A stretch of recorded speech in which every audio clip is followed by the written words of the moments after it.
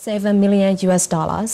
মিয়ানমারের সেনা অভ্যুত্থানের জের শুধু আর ভূপৃষ্ঠে নয় আস্তে আস্তে যেন ছড়িয়ে পড়ছে মহাকাশের পরিমণ্ডলেও initiatives. আন্তর্জাতিক মহাকাশ স্টেশনে মিয়ানমারের প্রথম স্যাটেলাইটকে আটকে দিয়ে তেমনটাই করে দেখাল জাপান মিয়ানমার সরকারের অর্থায়নে মিয়ানমার অ্যারোস্পেস ইঞ্জিনিয়ারিং ইউনিভার্সিটি এবং জাপানের হোক্কাইডো ইউনিভার্সিটি যৌথভাবে এক কোটি পঞ্চাশ লাখ মার্কিন ডলার ব্যয়ে ওই স্যাটেলাইটটি নির্মাণ করে ওই স্যাটেলাইটটি মূলত মিয়ানমারের কৃষি ও মৎস্য খাতের উপর নজরদারির জন্য তৈরি করা হয়েছিল।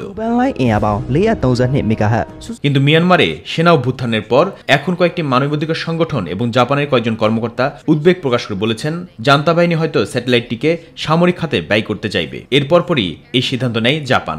One protester said that he hid in a nearby apartment complex. জাপানের মহাকাশ গবেষণা কেন্দ্র এবং জাপান একটি বিশ্ববিদ্যালয় মিয়ানমারের স্যাটেলাইটের বিষয়ে পরবর্তী সিদ্ধান্ত নেবে বলে জানানো হয়েছে।